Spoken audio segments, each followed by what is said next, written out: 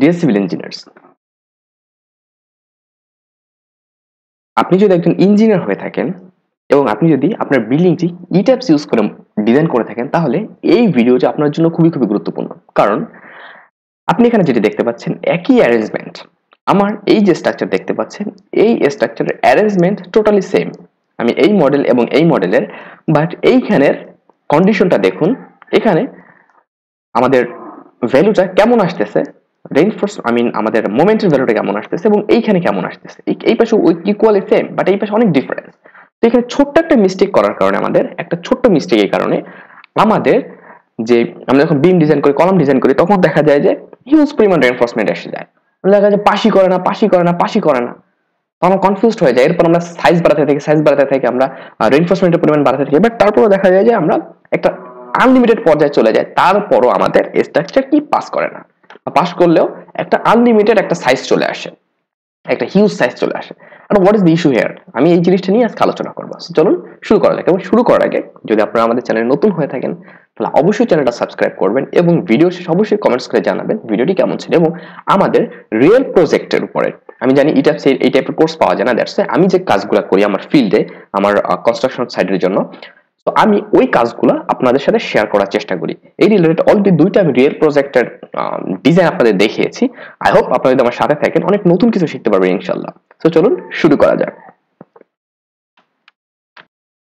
DS civil engineers আপনারা যদি আমার প্রিভিয়াস যে রিয়েল প্রজেক্টের ইট্যাপস ইউজ করে রিয়েল প্রজেক্টের ডিজাইন ইট্যাপ স্যাফ ইউজ করে, সেই টিউটোরিয়ালগুলো যদি দেখে থাকেন, তাহলে এই বিষয়গুলো আপনাদের কাছে মোটামুটি ক্লিয়ার বাট যদি এখনও না দেখে থাকেন, তাহলে আমাদের ডিসক্রিপশনে তো লিঙ্ক থেকে, এগুলো দেখে নেবেন অবশ্যই, আমি আশা করি। এবং আমি এইখানে দেখতে পাচ্ছেন দুইটা মডেলই সেম আমি বিম সাইজ কলাম সাইজ সবকিছুই সেম রেখেছি। আমি সবকিছুই কি রেখেছি? সেম রেখেছি এবং আমাদের অ্যারেঞ্জমেন্টটাও সেম আমি যদি একটা থ্রি ভিউ থেকে আপনাদের দেখাই র্যান্ডার ভিউ থেকে তাহলে বিষয়টা আরও ক্লিয়ার হবে।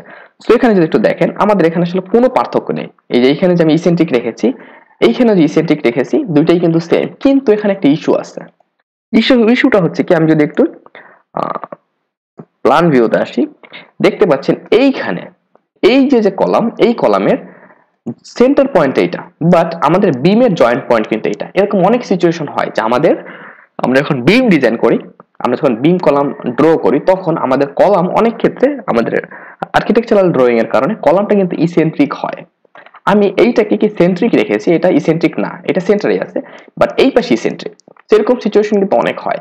তো তখন যেটা হয় যে আমরা এটাকে ইগনোর করি না, এবং আমি যতগুলো টিউটোরিয়ালস দেখেছি, আমরা এই জিনিসটাকে কখনোই কনসিডারই করি না। এবং কনসিডার করতে না হয়, আমি যেটা হয় সেটা হচ্ছে যে যা হয় আমি একটু পরেই দেখাবো। এখন বললে মজা থাকবে না তো সাথেই থাকুন।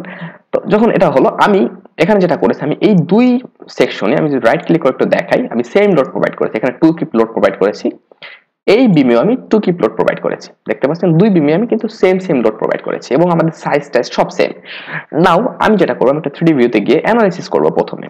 আমি এখানে কোনো প্রকার কোনো প্রপার্টিস অর এনিথিং কিছু কোনো কিছু প্রপার্টি আমি প্রোভাইড করিনি। তো ওকে সো আমি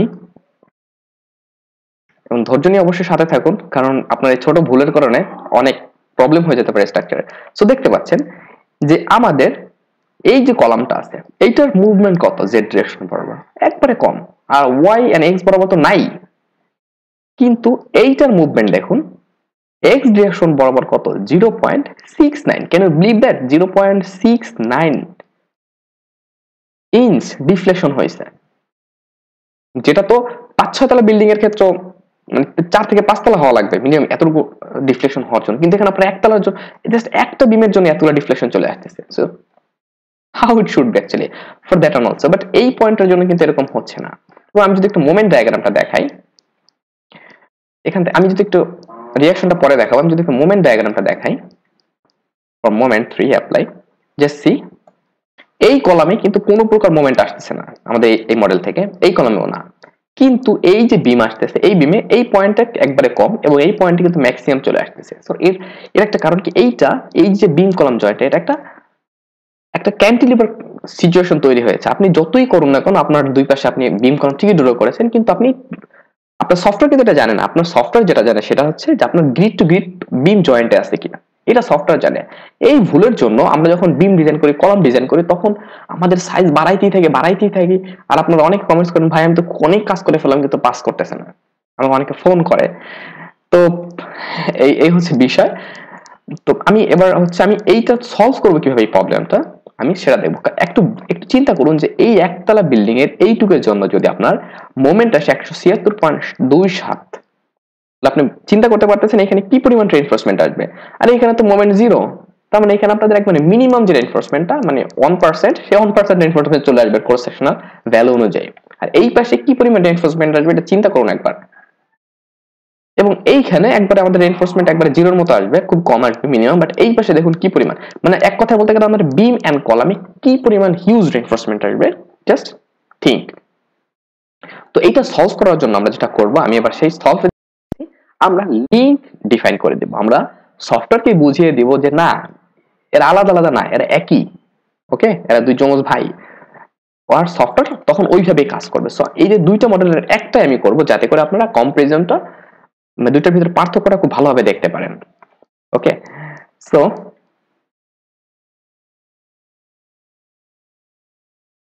এখানে আমি আসব আমি এই পেশারটাই করি। ওকে বা এই পাশেরটা ওকে এই পাশেরটা আমি লিঙ্ক লিঙ্ক প্রোভাইড করি। সো লিঙ্ক প্রোভাইড করার জন্য আমাকে যেটা করতে হবে, আমি যাব আনলক করে নেবেন অ্যাসাইনে যাব। অ্যাসাইন থেকে যাব ফ্রেম ফ্রেম থেকে এখানে আসব আমরা where is the link actually here sorry frame assign থেকে যে লিঙ্ক লিঙ্ক থেকে যে লিঙ্ক প্রপার্টিস এখান থেকে যে লিঙ্ক অনেকটা ডিফাইন করাই আছে। আপনি এখানে যাবেন মডিফাই দেন আবার মডিফাই এবং এখান থেকে এগুলো সব করা আছে বাট আপনার ক্ষেত্রে ইনিশিয়াল অবস্থায় এটা থাকবে না ক্লিয়ার শুধু এইটা থাকবে। আপনি যেটা করবেন ফিক্সড অল দিয়ে দিবেন। ফিক্সড অল দিয়ে এবার ওকে করবেন। ওকে করে আবার ওকে করবেন। অ্যাপ্লাই করবেন ওকে সরি এখান থেকে ওকে করবেন। ক্লিয়ার ওকে করে এইখান থেকে আপনি আসবেন, এখান থেকে ড্র লিঙ্ক এখানে ক্লিক করবেন। ক্লিক করে এখান থেকে আপনার যে প্রপার্টি আপনি ডিফাইন করেন সেটা সিলেক্ট করবেন আমি একটাই আছে, এই জন্য একটাই। এবার আপনি এখানে আসবেন, একটু জুম করবেন। জুম করে এটার যে সেন্টার পয়েন্ট আছে, এটা একটু ফাইন্ড আউট করতে আপনাকে কোথায়? এই যে এখানে। এই পয়েন্টটা সিলেক্ট করে এই যে বিমের পয়েন্টটা আছে, এখানে ক্লিক করে দিবেন। ক্লিক করে দিয়ে ইন্টার যদি এমন হতো যে আপনার এই দিক থেকে বিম আসতেছে এই দিক থেকে বিম আসতেছে, সেই ক্ষেত্রে কিন্তু, সেই ক্ষেত্রে একই, এই পয়েন্টটাকে ডিফাইন করে দিতে হতো। ওকে তো এই হচ্ছে বিষয়। এবার আমি এটাকে করব কি? স্কিপ করে দেব। আমি লিঙ্ক ডিফাইন করলাম। এবার দেখুন ম্যাজিক আমি আবার থ্রিডি ভিউতে যাব। থ্রিডি ভিউতে এইটা আমরা লিঙ্ক প্রোভাইড প্রোভাইড করছি বাট এটা কিন্তু ফ্রি এবার আমি অ্যানালাইসিস যাব। এবং অ্যানালাইসিস করার পরে ম্যাজিকটা দেখুন। জাস্ট দেখুন এ কিন্তু জায়গায় আছে এবার নো মুভমেন্ট বাট এ কি করছে? একবারে দৌড়ায় সরে গেছে। ওকে তো আমি এখন যেটা করব এখানে, আমি একটু আপনাদের রিয়াকশনটা দেখাবো, যে এখন রিয়াকশনের ভিতরে কি পরিমাণ পার্থক্য আছে। মানে আপনি যখন ফাউন্ডেশন ডিজাইন করবেন, তখন আপনি কি করবেন আসলে এখানে? মানে কি একটা বিচ্ছিরি দৌড়ে দৌড় হয়ে যাবে? এবং এখানে এম এক্স এম ওয়াই সবগুলাই দেখাবো। টেবুলেটেড ভ্যালু দেখালে বিষয়টা ক্লিয়ার হবে। অনেক সরি এখানে দেখুন, আপনি যখন ফাউন্ডেশন ডিজাইন করবেন, আমাদের এই যে যেটা আছে, এইটার রিয়াকশন কত আসছে? Eighteen point seven one nine এবং এইটার আসছে কত? Eighteen point four four but এইখানে দেখুন এখানে মাত্র ফোর পয়েন্ট জিরো ফাইভ আসছে। কিন্তু এইখানে কি অবস্থা দেখুন? থার্টি থ্রি এইখানে কত কি আসছে? থার্টি থ্রি কি আসছে। মানে এই পাশে যে লোকটা যাওয়ার কথা ছিল সব এই এই পাশে চলে আসছে। ওকে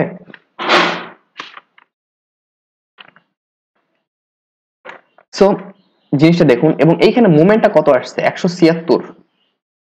কেন? বিলিভ দ্যাট আপনি যখন এইটার জন্য ফাউন্ডেশন ডিজাইন করবেন, তখন কি হবে এখানে?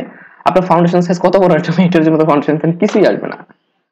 তো এই যে মিস্টেকগুলো এইগুলো আমরা করব এইখানে দেখুন, সেই একই এমআই মডেল কিন্তু একই। এমআই মাত্র six point seven kip feet এবং এইখানে six point seven kip feet যে সি দ্য ডিফারেন্স বাট এই পাশটায় দেখুন, এই পাশে একশো ছিয়াত্তর।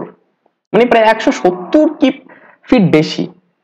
মুভমেন্ট এবার আমি যদি একটু আসি মোমেন্ট ডায়াগ্রামে আসি আসলে, তো অ্যাপ্লাই জাস্ট সি এবার মোমেন্ট ডায়াগ্রামটা একটু দেখুন। এই পাশে যে শুরুতে যেটা দেখলেন সেটা। তাহলে চিন্তা করেন, এইখানে আপনার কি পরিমাণ রেনফোর্সমেন্ট লাগবে? এখানে তো লাগবেই না।